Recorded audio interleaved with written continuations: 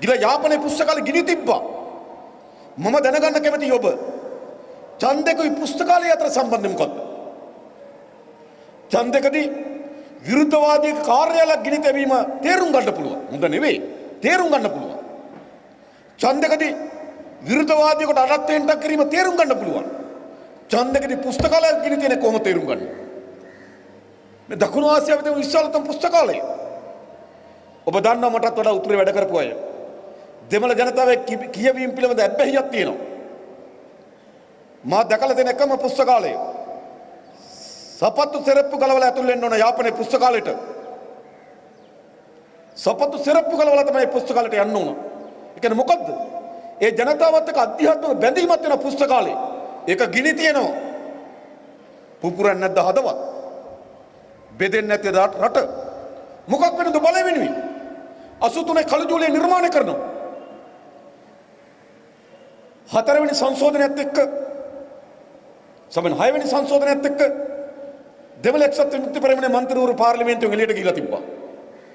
හැබැයි 82 නියමිත පරිදි මහජනත තිබ්බනම් උතුරේ නැවත දෙමළ නියෝජිතයන් පාර්ලිමේන්තුවට එනවා. උතුරේ ජනතාවගේ තමන්ගේ හඬ ප්‍රජාතන්ත්‍රවාදී ලෙස පාර්ලිමේන්තුවේ ඉදිරිපත් කිරීම සඳහා අවස්ථාව තියෙනවා. ජී.ආර්. ජයවර්ධන තමන්ගේ බලය හයෙන් පහේ තියාගන්න ඕනකම තිබ්බා.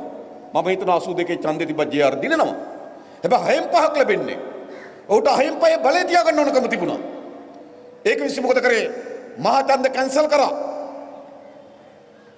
උතුරේ ජනතාවගේ ප්‍රජාතන්ත්‍රවාදී හඬ පාර්ලිමේන්තුවේ එන්න තියෙනක වැළැක්කුවා.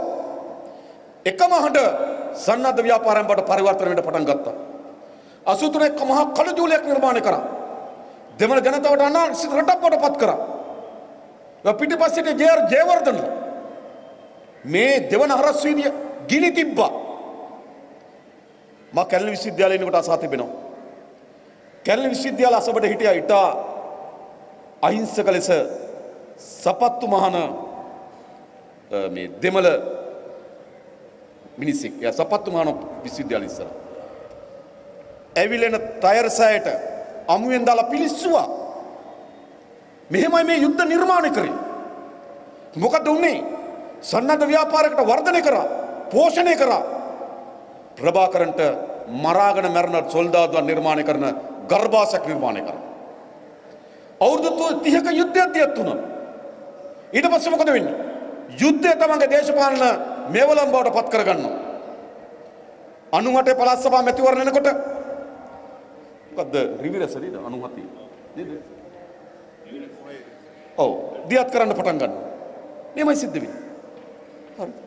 1999 චන්ද්‍රිකා කුමාරතුංග ජනාධිපති වෙන්නේ නැහැ. නගර සභා පිට්ටනිය පුපුරපු අන්තිම බෝම්බෙ නොතිබෙන්න. යුද්ධය ජනාධිපති දුරපත් කරනවා. 2005 ප්‍රධානම සටන් පාඩ බවට පත් වෙන්නේ මොකද්ද?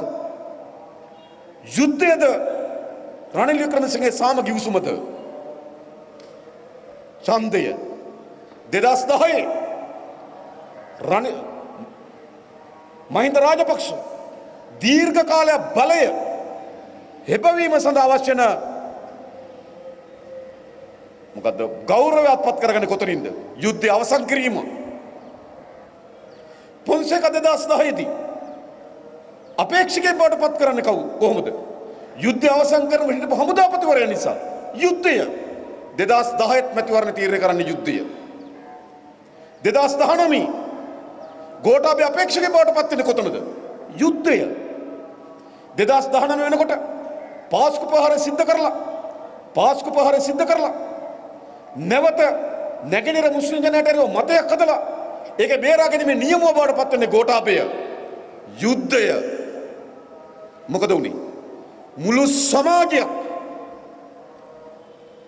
කළු රෙද්දක ගැස් බහලා තිබා යුද්ධය මත යුද්ධ හදනවා ඒගොල්ලෝ. යුද්ධ විසින් මොකද කරන්නේ? සතුරා මිතුරා අපිට බෙදනවා. ඇත්ත සතුරා මිතුරා නෙමෙයි. යුද්ධය විසින් අපිට සතුරෙක් හදනවා. මිතුරා මහින්ද රාජපක්ෂ වෙනවා.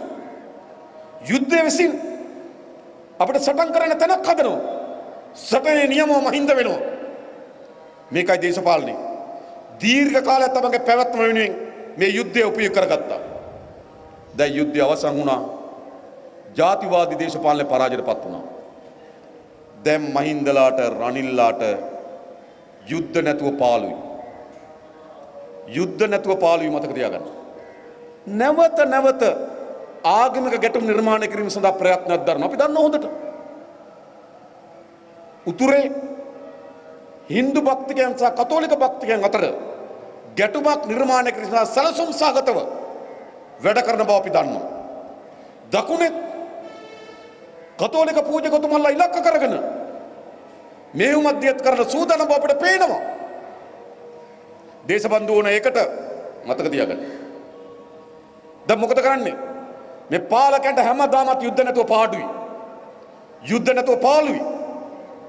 හැබැයි ඒගොල්ලෝ කවදාවත් කවදාවත් යුද්ධයේ වින්දිතයන් උනේ නෑ.